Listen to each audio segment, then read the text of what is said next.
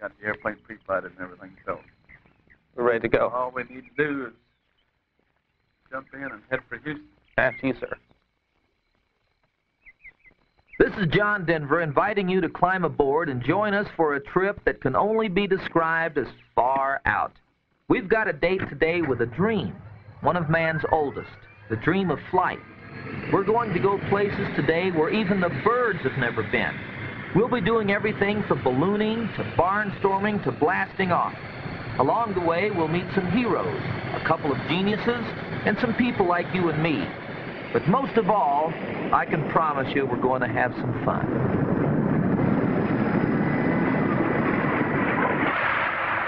I hope you folks recognize me, but I'm not sure you recognize the gentleman on my right.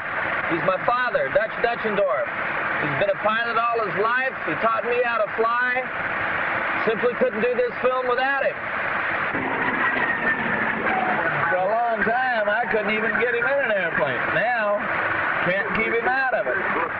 Yeah, but I tell you what, I think he enjoys it as much as I do. You can say that again. want you folks to sit down, strap your seatbelts on. Over the next hour, we're going to take you a few places you've probably never been before. You better hang on, because we're going to be going for it.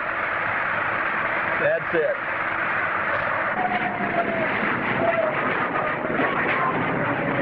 We're going to fire up a balloon and float over the Colorado Rockies. We'll take a sentimental journey back to Kitty Hawk to fly an exact reproduction of the Wright brothers' original flyer. We're going to find out what made those daring young men and women so daring back in the romantic days of barnstorming. And for a fantastic thrill, we'll plunge through the sound barrier in one of the world's fastest jets. So check those seat belts again, because this flight is ready to go.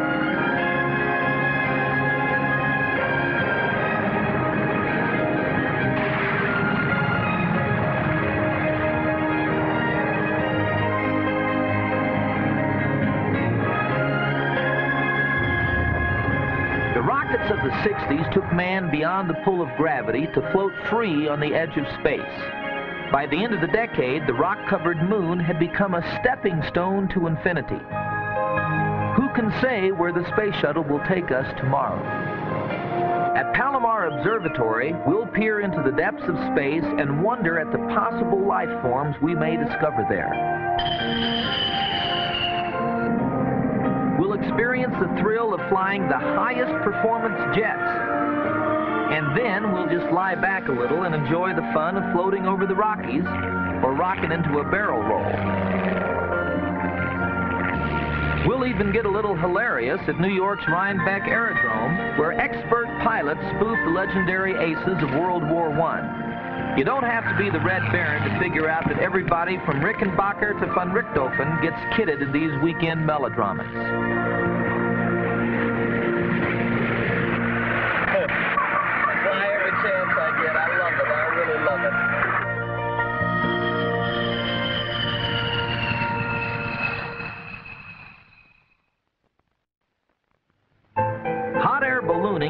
With us for a couple of hundred years. In those brave old days, though, the way you did it was to carry a bonfire in a basket under a highly flammable bag made of paper or cloth. If it strikes you that it wasn't the safest way of getting off the ground, you're right. But at the time, it was the only way. In recent years, the development of the propane burner and flame proofing has been responsible for putting balloons back in the air. This ancient pastime has now become a safe, spectacular, and enormously popular sport. Rallies like this one at Snowmass, Colorado, now bring balloonists together all over the world. Here at Snowmass, the high Rockies provide a majestic backdrop for these colorful giants. If anybody asks you what time the balloon is going up, you're generally safe if you tell them right after sunup, since the wind conditions for hot air ballooning are best soon after dawn. It's the kind of sport that gets you up early. Let me goose it one time. The very first time we actually got off the ground, it wasn't on the Wright brothers' wings. In fact, it was before the combustion engine was even a good idea. It was way back on November 21st, 1783, right? Right. In a hot air balloon. Hang on! Everybody up! There you go. We're still doing it today because it's great!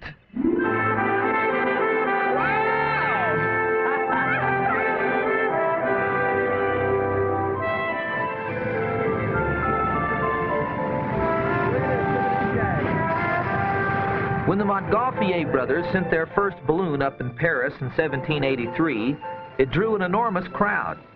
Among the onlookers was Benjamin Franklin, our ambassador to France at the time. As the balloon rose into the air, someone asked Franklin, of what possible use is it? And Franklin's answer, as usual, was right to the point. Of what possible use, he replied, is a newborn baby? Well, floating along in the breeze, suspended from a bubble of hot air, is great fun, but don't ever confuse it with powered, controlled flight.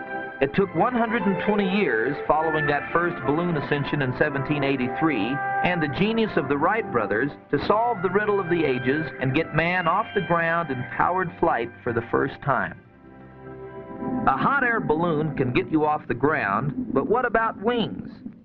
Men have always envied birds their place in the sky, but it took two bicycle mechanics from Ohio, Wilbur and Orville Wright, to show us how to join the birds in powered flight.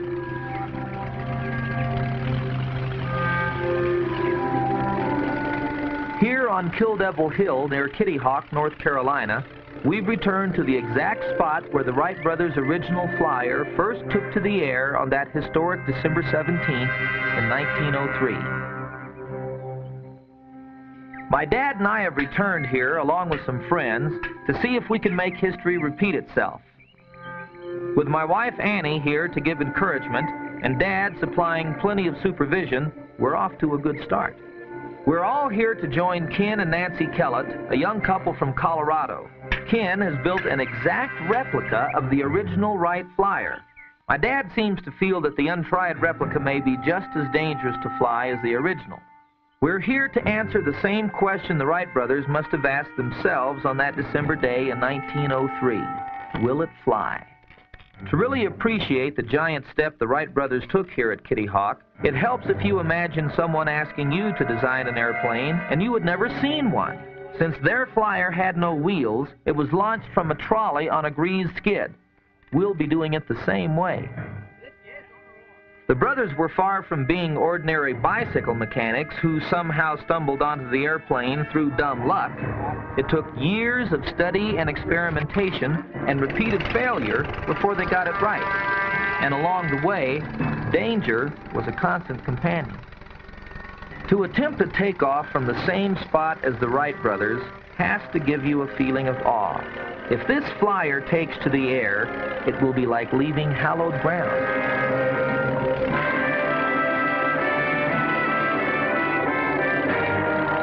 By today's sophisticated standards, that attempt may look like a failure.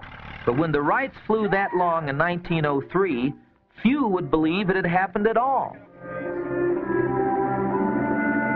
I guess everybody in love with flying wants to go farther, faster, and higher. I know we're ready to give it another try.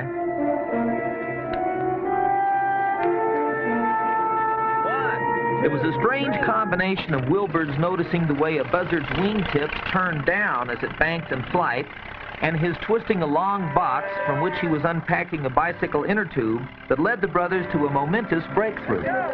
They theorized that by twisting or warping the wingtips, they might be able to keep the machine on an even keel. This they accomplished by cleverly rigging a set of cables which the pilot could control by shifting his hips.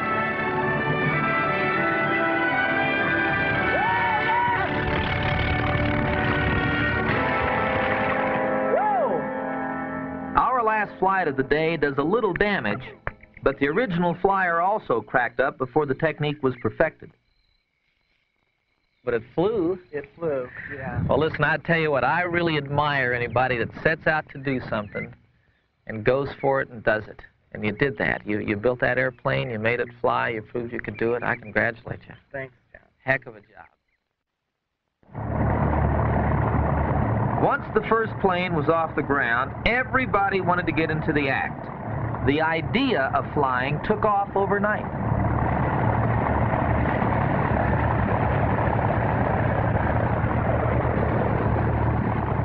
Hiya, folks! Guess who? These biplanes are replicas of what back in the 1930s and 40s were simply the hottest thing in the sky. Fact, now that I think of it, it might have been the only thing in the sky back in those days. In any case, replicas like this Steen Skybolt and the Pitts Special behind me are being used today by pilots to enjoy what I consider the purest, truest, and rawest form of flying. Now, my friend Chris Woods and I are going to go take these things out and show you what barnstorming is all about. You ready, Chris? You bet, John. Let's do it.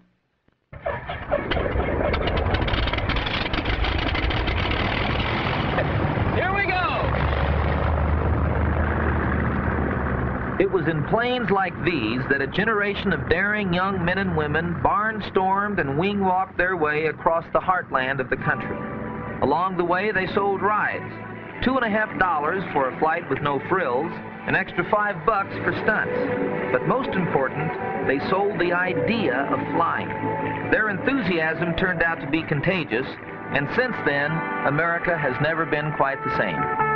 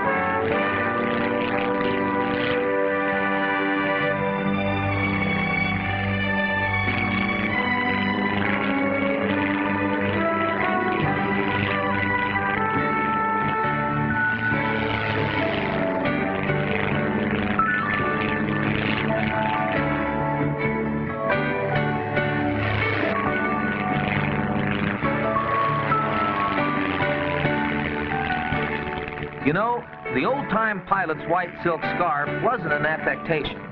It's a relic of the First World War. Fighter pilots wore them to keep their necks from getting chafed as they continually turned their heads to look for enemy planes. You want to give it a try, John?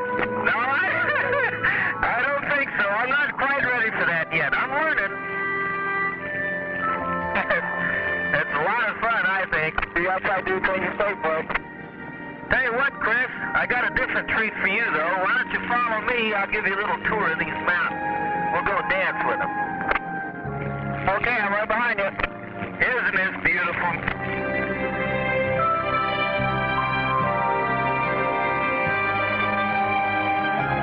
Look, Chris, this mountain here on the right is Capitol Peak. We'll go up through this notch here and make a little bit of a left turn go back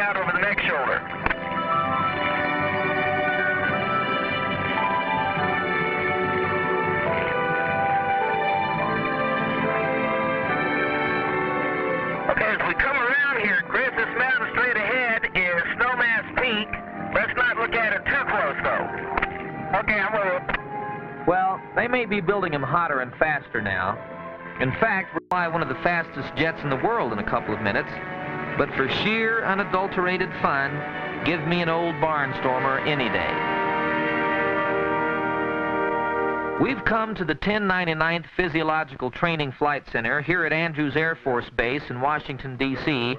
to begin training for flight in the supersonic F-15 Eagle. 30? I can't wait. I'm Yeah. so excited about this. John, I think we've covered all the necessary material in the classroom and we're ready to go in the chamber. Are there any questions you have uh, at this time? Well, no, I'm just kind of anxious to see all of this applied to experience it, you know. If you think those barnstormers were fast, you ain't seen nothing yet. Have a seat. Lieutenant Colonel Frank Mayberry, the Chief of Physiological Training here at Andrews, is going to check me out in his high-altitude chamber. This pressure cooker can simulate all the conditions of high-altitude flight right here at ground level. We're going to find out how the pilots of today's hottest aircraft learn to avoid or deal with such high-altitude killers as decompression sickness or a shortage of oxygen, which is called hypoxia. Mara. You will not. You'll have the super IP and you're going to be in good hands. Okay, sir, we got our act together, so we're fixing to make our ass in now. Very good. Here we go. Just start the tan chamber operator. John, you got a copy of Yes, sir. Sergeant McCann, you ready? Okay. We're going to take the altitude chamber up to 35,000 feet if you want. Roger, sir. Here we go. Then, when we get. Our denitrogenation completed, and we get our ascent to altitude, it's the only time in an altitude chamber that you will be purposely exposed to the area of decompression sickness. So at this time, if you're ready, why don't you just reach up, push the button, drop the oxygen mask down from the side of your face. All right. Yes, press close anytime. Go ahead, you feel. Is it relatively comfortable? Okay. It's not suffocation, but I feel not getting the amount of air that I'm used to getting when I breathe. It's okay? Yes, sir. okay, fine. If everybody's ready, here in about 15 or 20 seconds, we're going to experience a rapid change in pressure. Here we go.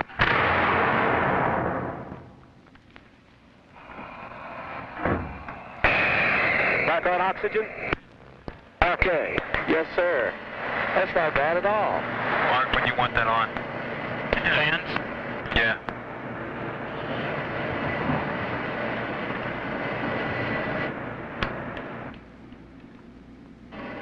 Beautiful recovery. You can knock it out of emergency if you would like there, John. I noticed that one, you're getting better each time you don your oxygen mask. That's the typical of uh, familiarity with the equipment. Yeah, we're coming in 8,000, sir. Yes, sir. Well, John, the altitude chamber flight's complete. You passed it. Did a great job. It's good flying in the F-15. I can't wait, sir. Thanks very much. Handshake, that's it. All right. Langley Air Force Base, Virginia, home of the 2700th Fighter Squadron, the oldest fighter squadron in the Air Force, and the one I'll be flying with. As my dad and I rolled past the parked planes, Eagles they're called, I can't help thinking it's nice to see some eagles that aren't on anybody's list of endangered species. If Orville and Wilbur could only see how the baby has grown. I still can't believe that I am actually going to be flying one of them.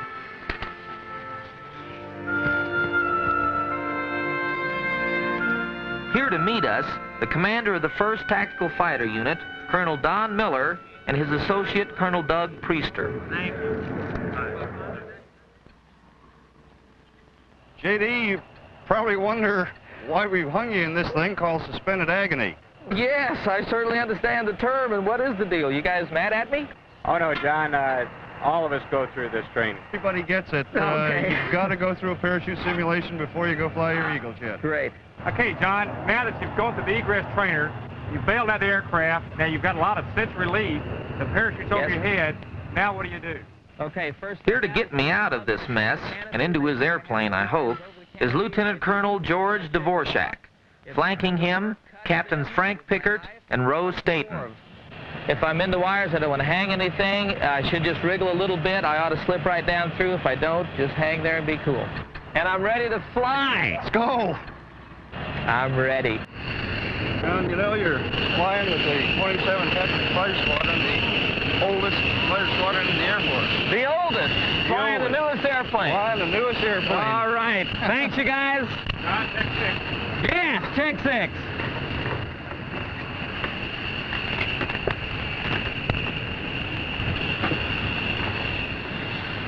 Frank will be right along to help straighten you out in the back there, okay? Right.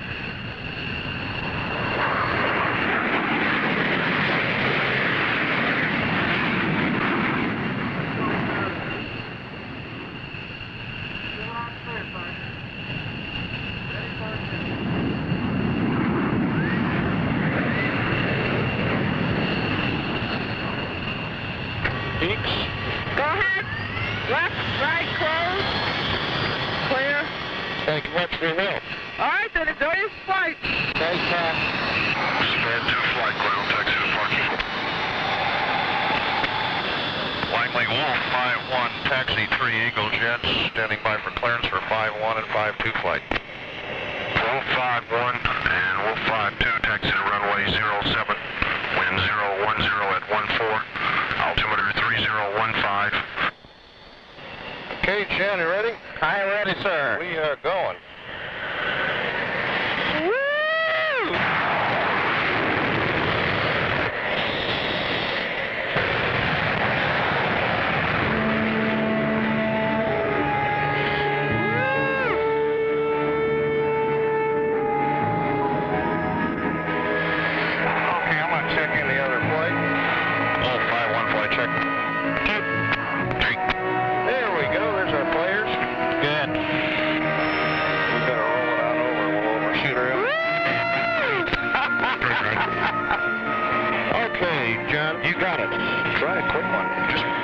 Stick over the side.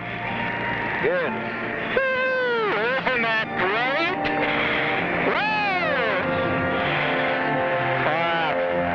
Keep going, Wolf 5-1. Okay, we can send flight up when they come.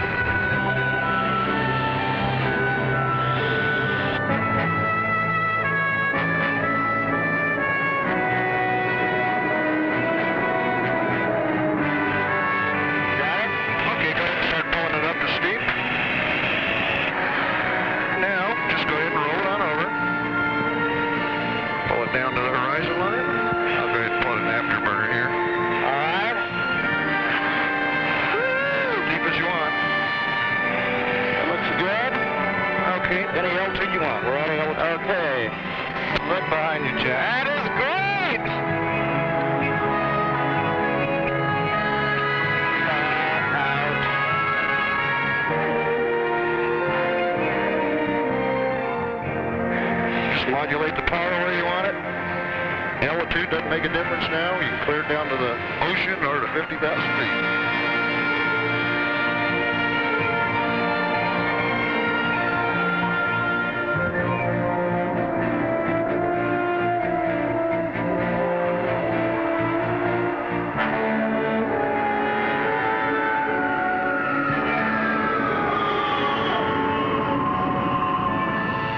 Wow, that's a flight to remember.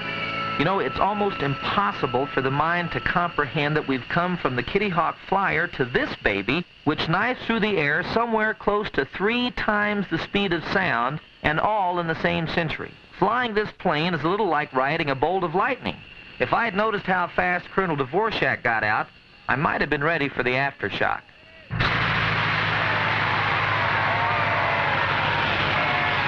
Well, I guess that makes me a baptized member of the 2700th, and I'm proud to be.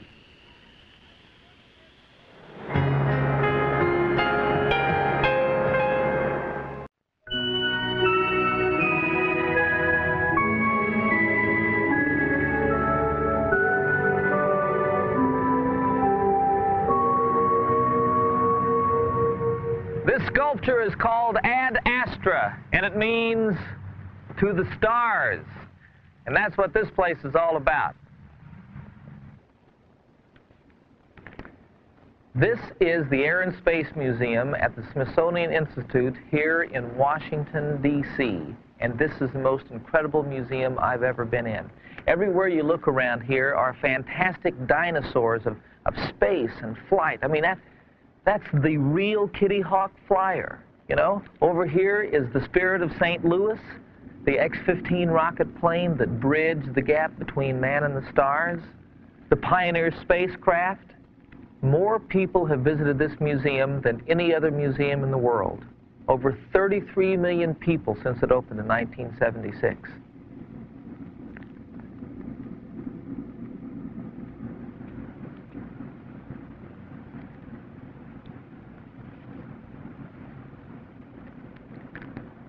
I'm here because this place supports one of the things that I really strongly believe in, and that's our continued exploration of space. I mean, this is like a, a grand history of American achievement, keeping the memories alive in our hearts and in our minds. Nine, eight, seven, all engines are started. Two, one, zero, we have a liftoff. The Saturn V is moving off the pad.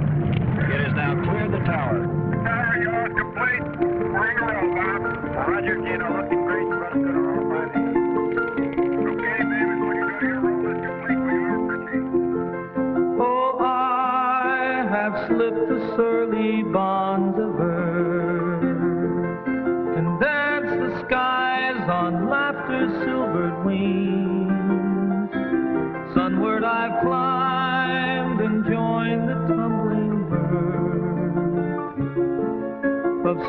sun-split clouds and done a hundred things. I've wheeled and soared and swung high in the sunlit silence, hovering there. I've chased the shouting wind along and flung my eager craft through footless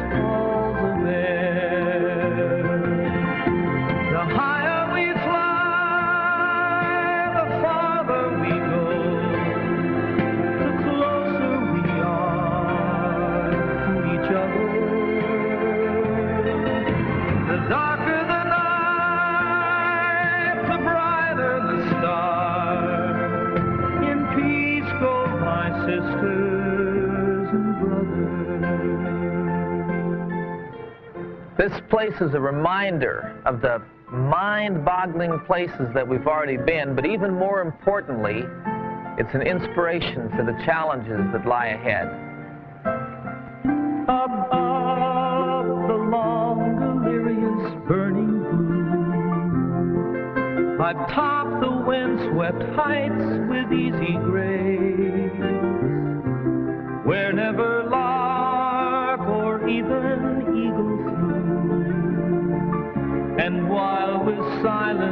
silent mind I've trod the high untrespassed sanctities, put out my hand and touch the face of God.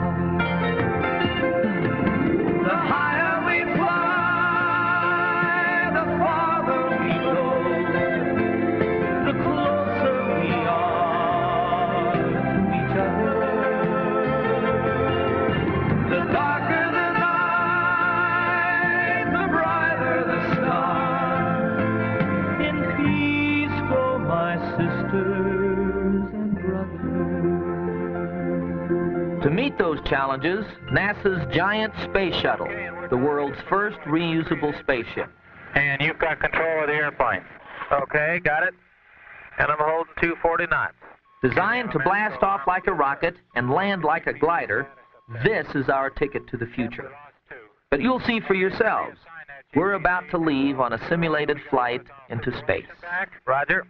Showing 36. I'm on line. Look at the Mach number, 3.4. Now, this thing is really moving at this time, and we're coming down rapidly. We're at 83,000 feet, 290 knots now. Okay, we're going to ask you to give us a nice, gentle 30-degree bank turn when you get up to the heading alignment circle. Roger. Hello, Columbia, Chase 1 on board. Okay, I'm starting to see a runway up here. Got 265 knots. We're lined up. 12,000 feet. I'll arm the landing gear. All right. And it's asking for that uh, little pitch down to get uh, 290 knots.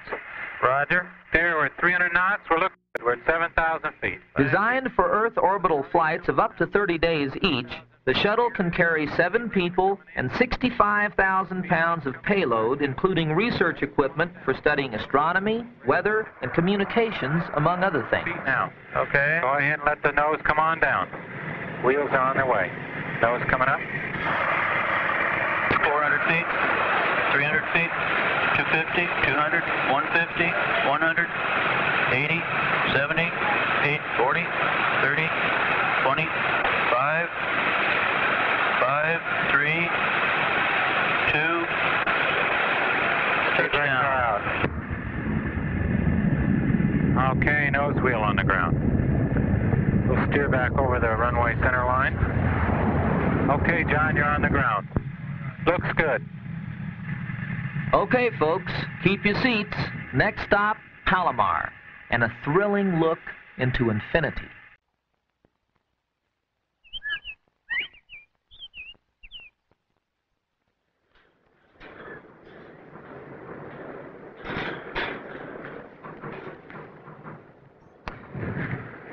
I'm on Palomar Mountain riding the dome of the Hale telescope. Now, people call this the world's greatest eye because its powers are so enormous. It collects the light of a million human eyes. It can pick up candlelight at a distance of 10,000 miles. It can see 10,000 million light years into space. I mean, far out. Come on inside with me. We're about to look 8 billion light years into space. And here to guide us through the galaxies, world-renowned astronomer Dr. Jesse Greenstein. Hi, John. How you like it up there? Well, I think this is pretty far out, sir. You want to uh, start turning the dome uh, Okay. just to see how that works? First, we, before right. we do that, we've got to open it. All right. So let's get the opening. That's right.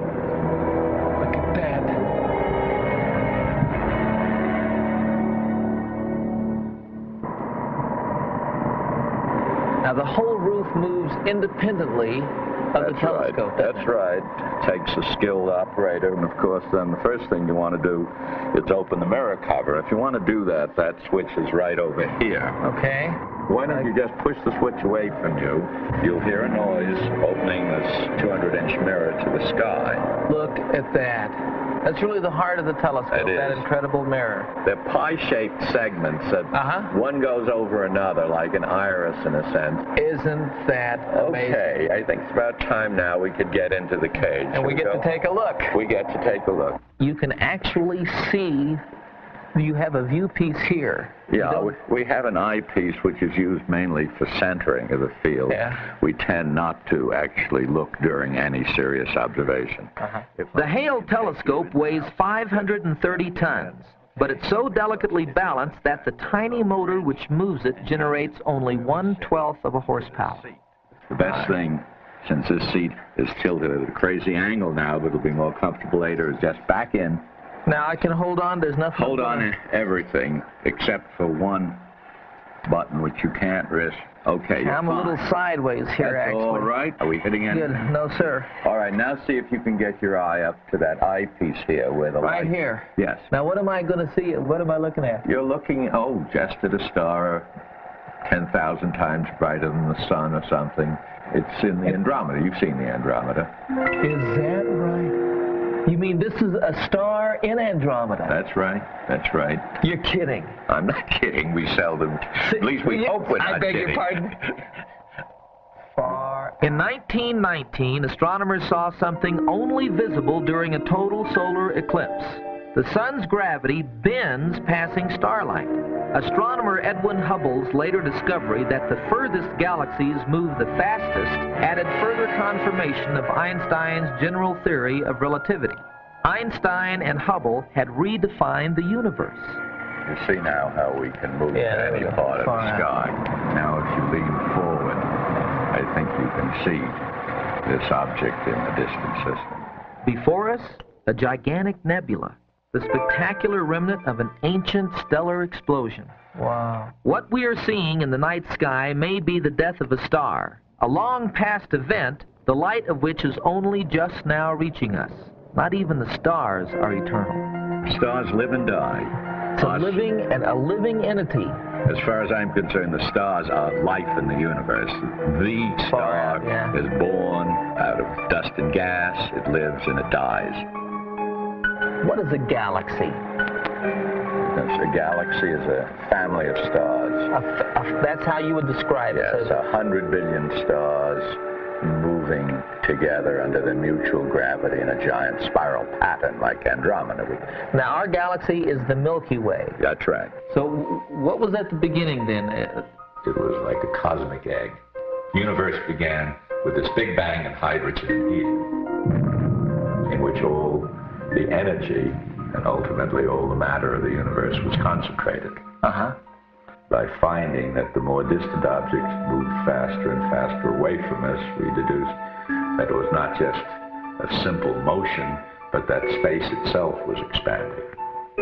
The sun gave birth to the planets, we think, in a much more peaceful way, at a very low temperature, in fact, against this enormous temperature measurable only in the billions and billions of degrees Yeah. at the beginning of time. What was the Earth like originally? Well, we sort of think it was like these pockmarked planets that we see from space now, covered with debris formed by the gradual accumulation of impacting small asteroid-type bodies, hunks of rock hurtling in. The early history of our planet and the origins of life on it remain shrouded in mystery. Scientists can only speculate on the convulsions which led to the formation of cells capable of reproducing themselves. In one of my favorite poems, Langdon Smith says it best. When you were a tadpole and I was a fish in the Paleozoic time, and side by side on the ebbing tide, we sprawled through the ooze and slime. The eons came and the eons fled, and the sleep that wrapped us fast was riven away in a newer day, and the night of death was past. Thus, life by life and love by love, we passed through the cycle strange, and breath by breath and death by death, we followed the chain of change. With space exploration, we looked through our own solar system, a rough dozen planets and 20 satellites or thereabouts. They're all miserable places. You know, we wouldn't live there. Yeah. We seem to be in a very strangely fortunate world. What you're looking for most specifically is that other stars like our sun probably have planets around them. Is that right? I was interested mostly, since there is a great interest in other intelligences and other worlds, and first finding if there was one other world in which anything could live. How many galaxies are there? Do we know? Well, we really don't know. That's one of the main goals of the study of cosmology and the expanding universe. But the guess is that there are somewhere between hundreds of millions and some billions of galaxies. Galaxies. And each one has a population of 100 billion stars like our sun. There's no end to it. The real problem, Is is there no end to it? we don't know. That's Oh, really? We we don't know. Science is built. science cannot tell you that. But not yet. We look at these things, we look at more and more distant ones, we strain our equipment and our mind. It's the process that we're trying to find out Yeah. because there's no point in giving an answer in advance. Doors beyond doors, I wish we could see through. Yeah. It's going to take very special means. It's going to take different kinds of telescopes. For example, work in the infrared, where you detect the heat radiation of a planet relatively more easily than its reflected light. We also send messages into space, abstract attempts to explain who we are. Since life as we know it is most probably near stars like our sun, we aim our electronic ears in their direction. Carbon is formed in stars. Oxygen is formed in stars. Yes. Everything else was born in stars. And we're born of the same kind of material from stars. So if that is the case then, and we feel that all the materials are pretty much the same in the universe, then if there is another planet in a situation like ours, what are the probabilities that this creation of life, living organisms, Does that get to be probable then? To me, it would seem that the fact that we are made of the commonest elements synthesized by nuclear burning in stars make us. So it's very difficult to believe that if there's a platform at about the right temperature, that life might not develop spontaneously. Well, that's pretty far out, as you would say. Yes. But it's true also. Yeah. You couldn't sit up in that chair eight or ten hours a night without having some belief that there'll be novelty. Well, life is the ultimate novelty. But novelty implies unpredictability. And nowhere is it chiseled in stone that life, if it exists beyond the earth, would necessarily have evolved the same way it has here. A tree-like creature, capable of movement, guided by some primitive impulse to seek the nutrients necessary to survive and reproduce, may be the ruler of some alien planet a billion light years away. Harvard's Nobel Prize winning biologist, Professor George Wald, believes emphatically in extraterrestrial life. He said, I think there is no question that we live in an inhabited universe that has life all over it. That sense of wonder is what forces us to work, and it may be that, that sense of uh, striving for the impossible. But it is precisely this sense of wonder, of curiosity, and our compulsion to satisfy it that sets us apart from all our fellow creatures on Earth. Perhaps our search will lead us to discover that the king of some distant planet resembles one of the giant predators of our own ocean, a throwback, by earthly definition, to a time before animals had crawled out of the water to survive on land.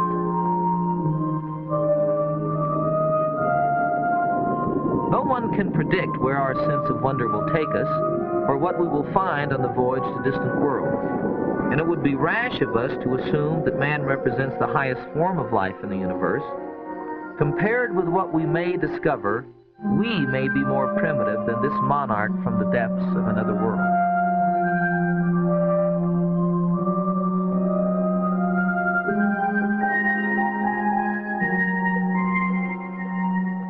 What about intelligent life? So first we've got to look. Without information, there's no knowledge. We have to expect miracles, but we have to make them work.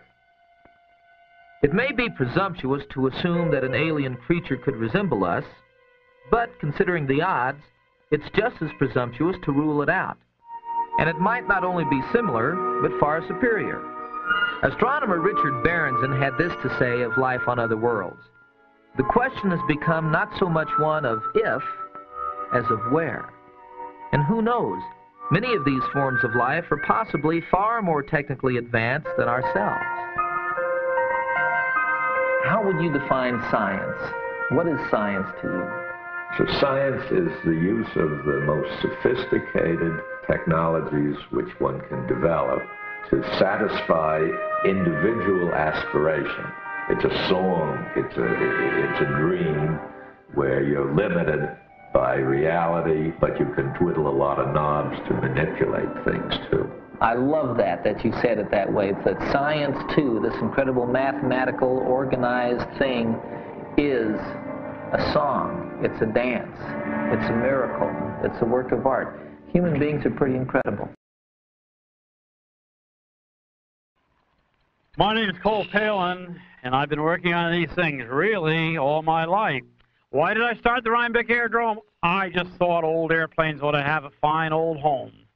Why are people interested in old airplanes with such marvelous, sophisticated airplanes flying around today? With the old airplanes, it can be one man by himself controlling the whole situation. I think it's human nature to want to do the whole thing themselves, the individualist.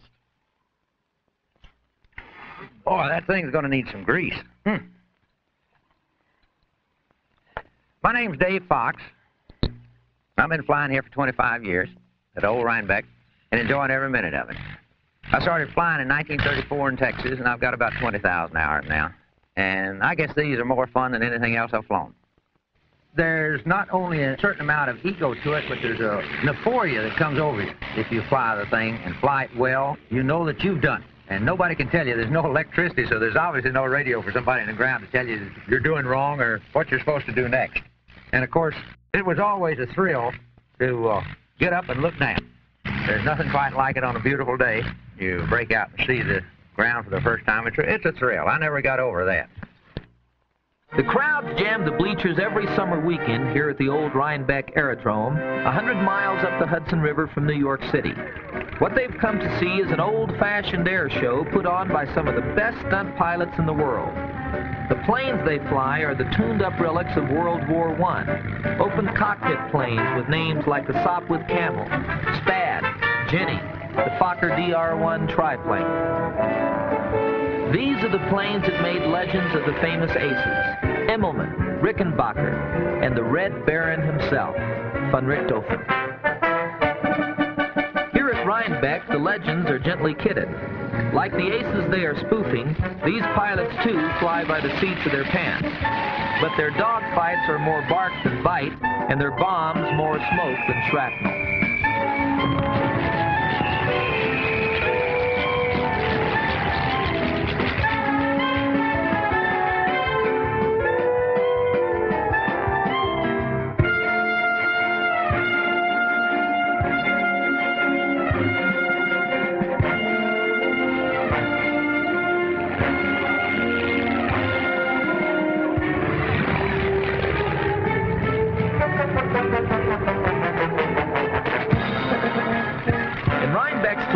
Circus, you don't need a program to tell the bad guys from the good guys. The damsel in distress may be tied to a barrel instead of a railroad track, but nobody doubts for a minute that she'll survive.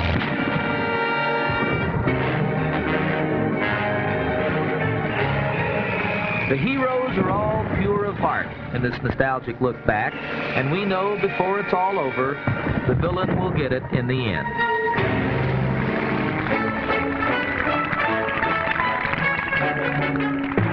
Uh, space program, I think it's a marvelous thing. My father delivered mail in a horse and buggy, and he lived to see Sputnik. A wonderful time to be alive. The use of space is going to be necessary to continue the progress of man. It's going to lead the way to long-term space population. There are actually going to be generations within the next hundred years who were born and raised in space. To keep it going, they're going to have to make the space shuttle do things for people, because people is the key to anything we ever have done as a nation or will do as a nation. In 1948, the experts said it would be another 200 years before we'd make it to the moon. But in 1969, this Saturn V rocket was the initial stage of a delivery system which carried two Americans to its surface and brought them safely home. Today, this rocket is practically obsolete. The space shuttle has been born, and with it the promise of new and even greater discovery. It's kind of hard to imagine, but someday even the space shuttle will become obsolete as we continue to step into the future and out of the past. So what does all this mean? These dreams of the past turning into modern day reality? Well, I'm convinced that it means that we can accomplish just about anything we set our minds to. We can continue to solve the most difficult problems that we face here on Earth and learn new ways to improve the quality of our lives and the lives of our children. But first of all, we have to decide that that's what we want to do. And then we have to learn how to work together toward those goals. I know that it's true that you have to climb to the top of the mountain to see the other side. Well, we wanted wings, we got them. We're beginning to use those wings to fly beyond familiar peaks to the far side of those mountains. We can't not do it. We must continue our explorations. We must open our eyes and our minds and our hearts to accept being the first among humans to enter the far reaches of space.